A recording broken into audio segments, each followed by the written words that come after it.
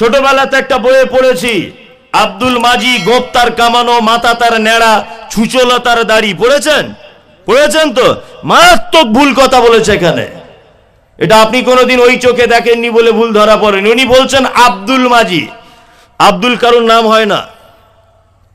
আব্দুল কারুর নাম নয়। উনি যদি বলতেন আব্দুল্লাহ মাজি, কথা একদম ঠিক ছিল। উনি যদি বলতেন আব্দুল ওয়াহাব মাঝি কথা ঠিক ছিল। আব্দ মানে হচ্ছে গোলাম। কার গোলাম? আগে পিছে একটা শব্দ ব্যবহার করতে হবে। আব্দুল্লাহ, এটা আরবি শব্দ। কি বললাম, বুঝলেন না? আবদুল্লাহ আরবি শব্দ, আল্লাহর বান্দা। উনি যদি বলতেন আবদুল্লাহ মাঝি, ঠিক ছিল? কিন্তু উনি বলেছেন আব্দুল। আব্দুল কোনো শব্দ চলবে না। তার মানে পৃথিবীর অনেক কবিতার কবিতে ভুল পাওয়া যায়। অনেক ভাষাতে ভুল পাওয়া যায়। আপনি পবিত্র আল কোরআনের একটা শব্দ দেখান। যে বিদেশের ভাষা কোরআনের মধ্যে ঢুকিয়ে দেওয়া হয়েছে বা অন্য কোনো ভাষা আছে? নাই। আরবি। কোন রকম ভাবে আপনি গোজামিল ঢোকাতে পারবেন না। মারাত্মক একটি কিতাব। এই কিতাবের দ্বিতীয় নম্বর সুরা। এই সুরার নাম সুরায় বাকারা। সর্বপ্রথম আমরা জেনে নেব সুরা বাকারার ফজিলাত কতটা।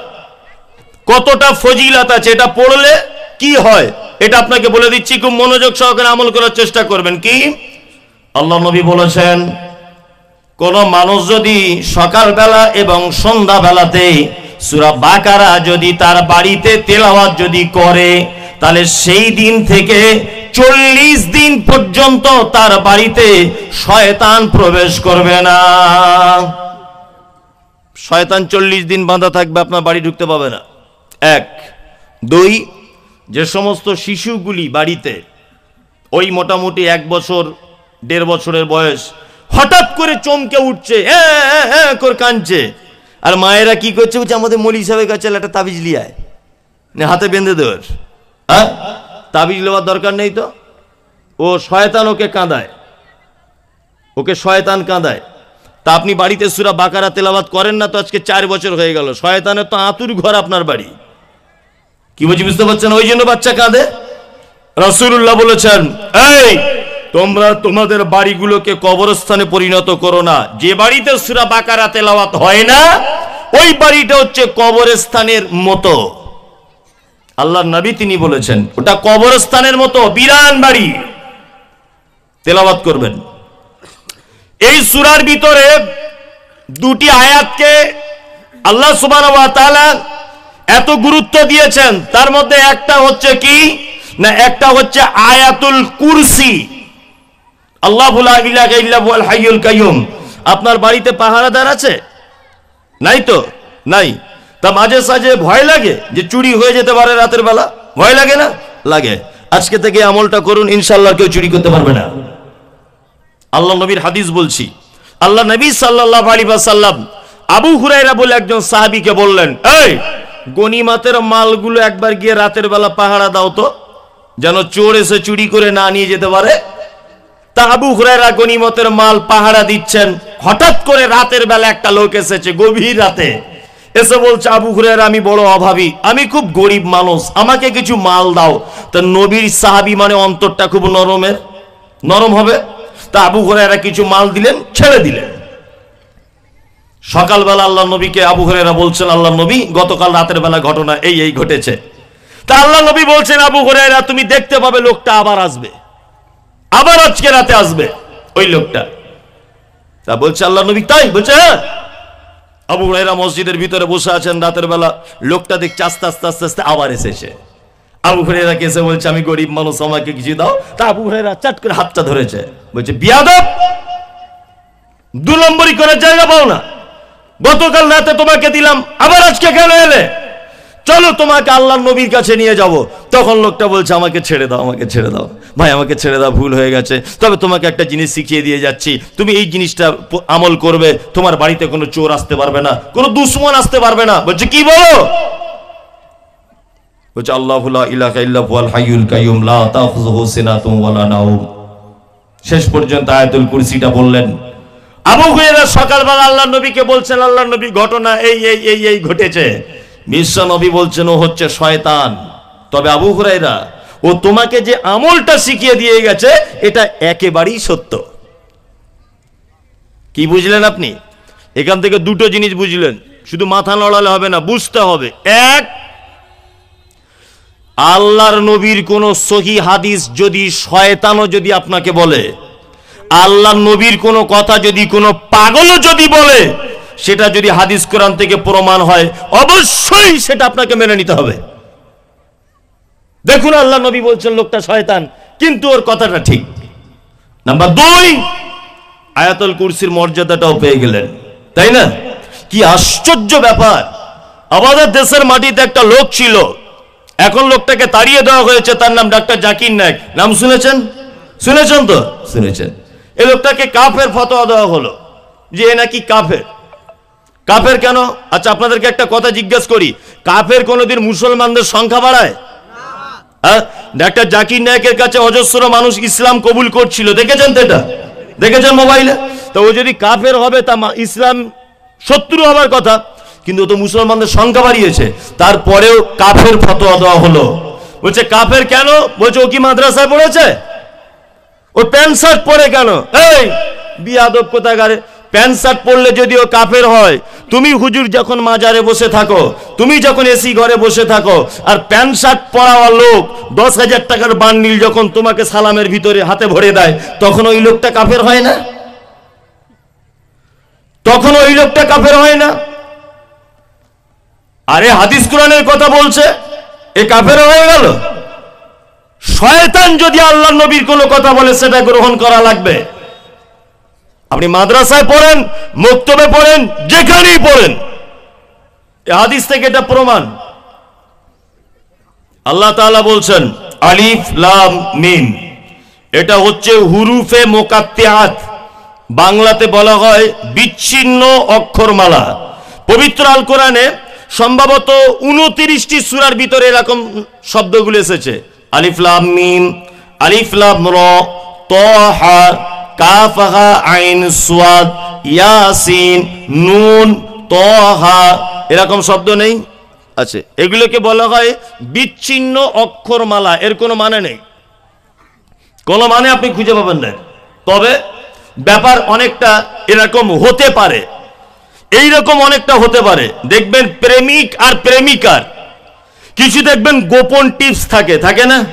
আগেকার দিনে মোবাইল ছিল না ল্যাপটপ ছিল না হোয়াটসঅ্যাপ ছিল না ফেসবুক ছিল না, তো তখনকার তখনকার দিনে কি মানুষ প্রেম, ভালোবাসা করেনি? করেছে। তখনকার আলাদা ছিল। ছেলেটা মেয়েটাকে বলতো, দেখ, রাস্তায় যখন তোর সাথে দেখা হবে, তখন তুই আমাকে দাদা বলে ডাকবি, সবার সামনে যেন প্রেমের পরিচয় দিবি না। আবার ছেলেটা মেয়েটাকে বলতো, ডান চোখটা এরকম করলে তুই বুঝতে পেরে যাবি যে ফটিকদের গোয়াল ঘরে দেখা করতে বলছে। এসব আগেকার টিপস ছিল না? খুব টিপস ছিল। প্রেমিকার প্রেমিকার গোপন টিপস থাকে। তা আল্লাহ ওয়া আর নবী মুহাম্মদ আলাইহি হয়তো কোনো গোপন ব্যাপার আছে? এই রকম শব্দের দিয়ে সেটা আল্লাহ আল্লাহ ভালো জানে, আমরা কেউ জানি না। আল্লাহ কি বলতে চেয়েছেন? আল্লাহ ওয়া তারপরে বলছেন জালিকাল কিতাব লা রাইবা ফি, হুদাল লিল মুত্তাকিন।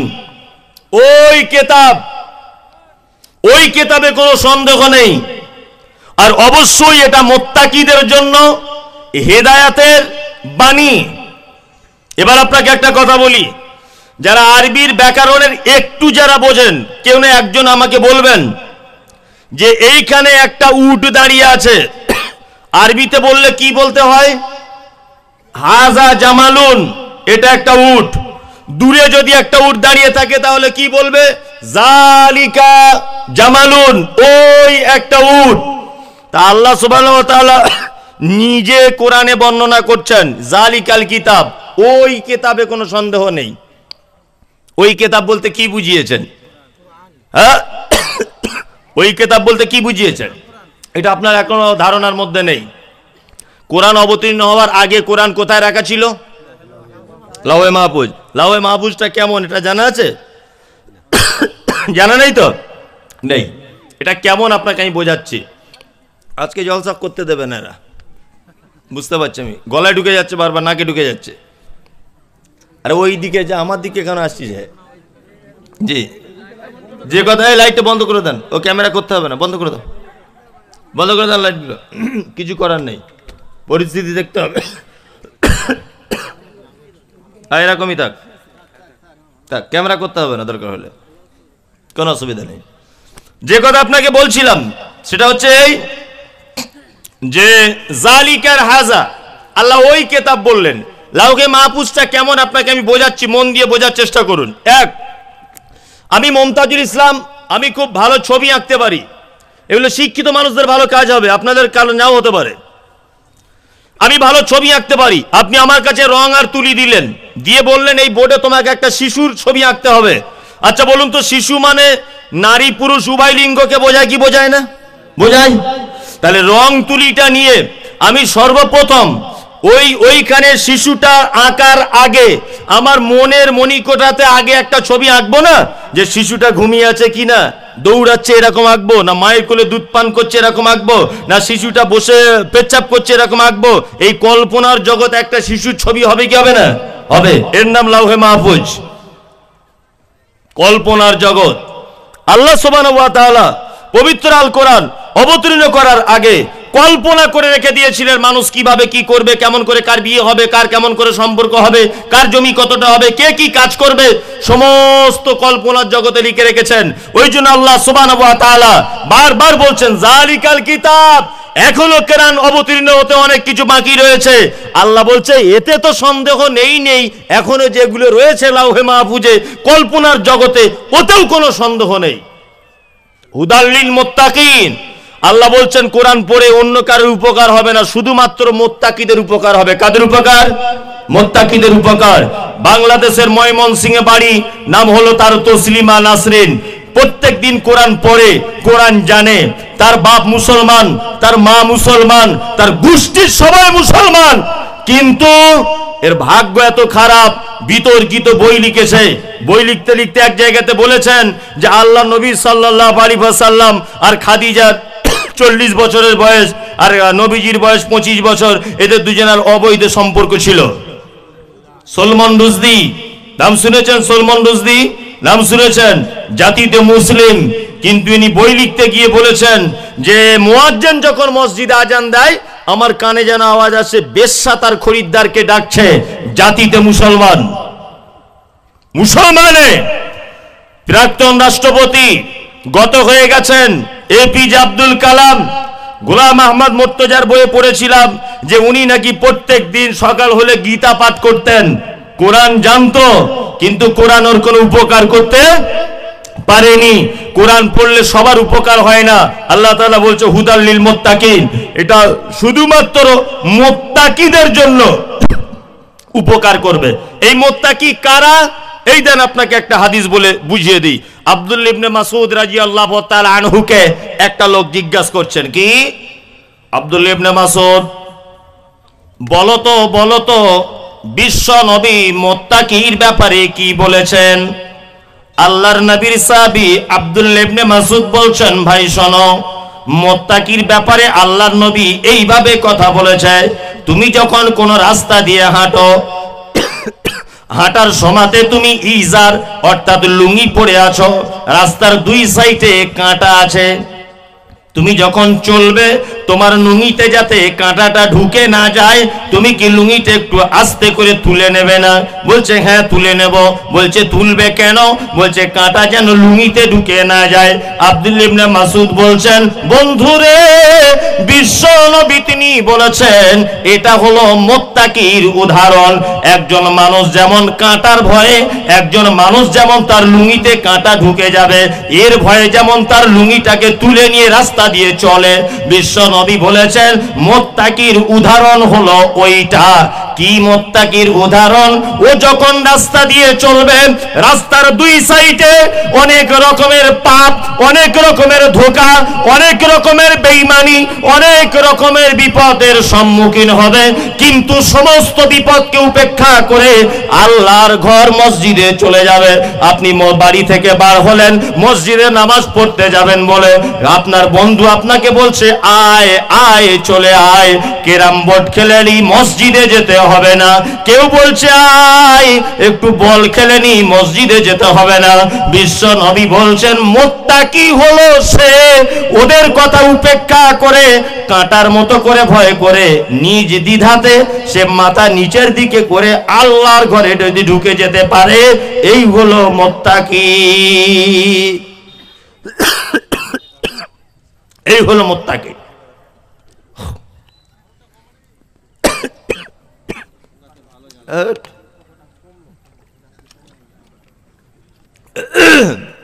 পোকা জায়গা পেল না আমার গালের ভিতরে ঢুকে যাচ্ছে।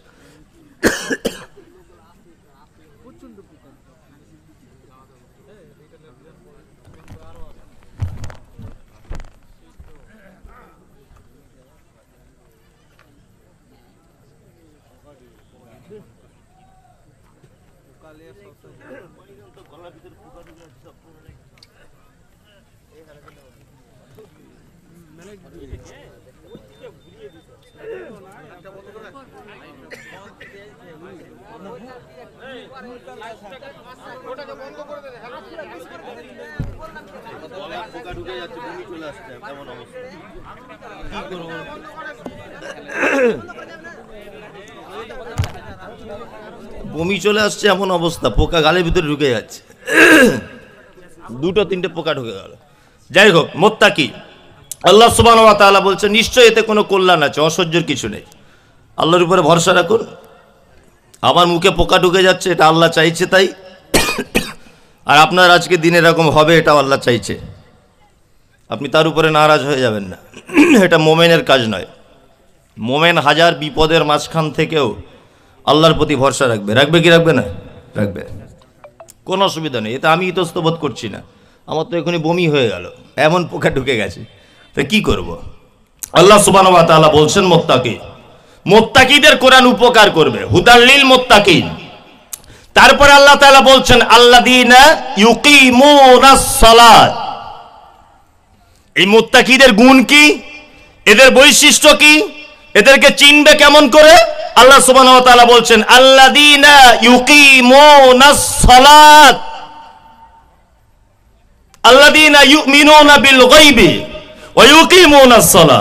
আল্লাহ তাআলা বলছেন আয়াতটা ছুটে যাচ্ছে, একবার ধরিয়েও দেয় না। আল্লাহ তালা বলছে, মোত্তাকিদের একটা প্রথম নম্বর গুণ তারা আমাকে না দেখে বিশ্বাস করবে। কি করবে? না দেখে আমার উপরে কি করবে? ইমান আনবে। আপনাদেরকে এবার একটা কথা বলে রাখছি। আপনি আল্লাহকে দেখতে পাননি, তা আল্লাহর প্রতি আপনার ভয় আছে? আছে? আছে তো? আল্লাহকে দেখলে বেশি ভালো হতো না না দেখলেই ঠিক আছে? না দেখলেই ঠিক আছে। একটা কথা আছে যে না- না দেখে ছিলাম ভালো, দেখে প্রাণ জ্বলে গেল। কাজী নজরুল বলেছে, তুমি যদি কাউকে অরিজিনাল ভালোবাসো, তাহলে জীবনে তার সামনে গিয়ে দাঁড়িয়ে যেও না। ভালোবাসা কমে যাবে। দেখলে কিন্তু ভালোবাসা কমে যায়, না দেখলে ভালোবাসা কি? বাড়ে। অনেকদিন আগে একবার ট্রেনে যাচ্ছিলাম, তো একটা ছেলে আমাকে জিজ্ঞাসা করছে, হুজুর, আপনাকে একটা কথা বলব? আচ্ছা কি বলো? তা বলছে, মুসলমানদের ধর্মের সব ভালো লাগে, একটা জায়গায় আমার খুব আপত্তি। বলছে, কি? বলছে, আপত্তি এই জায়গাটায়। আমরা দেখুন, কালীর পুজো করি, কালীকে সামনে রেখে করি, দুর্গার করি, দুর্গাকে সামনে রেখে করি। আর মুসলমানরা কত বোগা ওরা মসজিদে গিয়ে আল্লাহকে দেখতে পায় না, শুধু গিয়ে মাথা ঢুকছে টুক টুক টুক করে মাথা ঢুকছে এটা আমার ঠিক পছন্দ হয় না। বললাম বা ঠিক বলেছ। ঠিক বলেছ তুমি। তবে তুমি তো কাকে প্রশ্ন করছ, এটা জানো না? আমি মাদ্রাসায় পড়া ছেলে। জানেন তো? মাদ্রাসায় পড়া ছেলে আমি। তাহলে এবার শোনো, তা বলছে, বলুন। বললাম আচ্ছা বলো। আচ্ছা তোমরা যে দুর্গার পুজো করছ? বলছে হ্যাঁ। বললাম, বলো তো, তোমাদের দুর্গার জন্ম কত বছর আগে? তা ছেলেটা জানে না, বলছে, সাড়ে তিন হাজার, চার হাজার বছর আগে। বললাম, বাহ, খুব ভালো কথা। তাহলে সাড়ে তিন হাজার বছর আগে তোমাদের দুর্গা? বলছে হ্যাঁ। বললাম, বলো তো, বন্ধু, ক্যামেরা আবিষ্কার হয়েছে কত বছর আগে? খুব বেশি হলে চল্লিশ বছর হবে, পঞ্চাশ বছর হবে, তার আগে নয়। তাহলে তোমাদের দুর্গার যে এইরকমই দেখতে ছিল, এটা কোন ক্যামেরায় ছবি তুলেছিলে? এইরকমই দেখতে ছিল, তুমি বুঝলে কি করে? তোমাদের কালির যে এরকমই দেখতে ছিল, এটা তুমি বুঝলে কি করে? কোন ক্যামেরায় ধারণ করেছিল, বলো? তা, মাথা চুলকাতে চুলকাতে বলছে, আপনার সাথে পারা যাবে না। আমি যে আমার সাথে পারবি না, তোকে কি করি দেখ এবার? তুই কাকে কি বলছিস? আমি বললাম, শোন তোদের মণ্ডপ যখন হয়, আমি হিন্দু ভাইদের ছোট করছি না বা কিছু ক্রিটিসাইজ করছি না, আমি জাস্ট বোঝানোর জন্য বলছি। আমি বললাম, তোদের যখন মণ্ডপ হয় পেপারে তোদের মায়েদের ছবি বার হয়। দুর্গা মা কলকাতায় এত বড় মা এসেছে, গায়ে তার এত কেজি সোনা। আসে না? আসে। পেপারগুলো যখন পুরাতন হয়ে যায়, দোকানদার ভাইরা কি করে? ঠোঙা তৈরি করে। করে চানাচুর মুড়ি বিক্রি করে। হ্যাঁ দুর্গা মায়ের ছবি থাকে ঠোঙাতে। বাচ্চা ছেলে চানাচুরটা খাওয়া হয়ে গেলে ঠোঙা কোথায় দেয়? নর্দমাতে ফেলে দেয়। তাহলে বলতো বাবু, তোদের মায়ের সম্মান বাড়লো না কমলো? তো বলছে, সত্যিই তো তাই। বললাম, এই কারণে আমার আল্লাহকে দেখতে পাওয়া যায় না। আল্লাহ যদি দেখতে পাওয়া যেত, তাহলে মানুষ ঠিক এই রকম বলতো।